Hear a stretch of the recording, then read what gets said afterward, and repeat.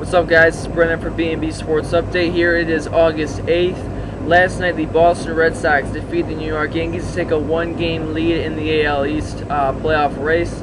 Uh, comment in the section below on who you think is going to win the AL East this year. I go with Boston. They've dominated the whole ever since that terrible start. They've really dominated the whole division and mainly much of the American League. So I go with Boston. Uh, breaking news at the Lions training camp today: Mikel Leshoure, the rookie running back, is now out for the season. He tore his Achilles heel, tendon, heel, whatever you want to call it. He tore that earlier today. He's he won't play till next year. Uh, talk about how it's going to affect the Lions. I obviously got my Calvin Johnson jersey. And uh, that's it for now. You know, keep it here on B&B. Remember, who do you think is going to win the AL East this year? Uh, in the comment section below. We'll see you guys later. This has been Brendan from B&B Sports Update. I'll catch you guys.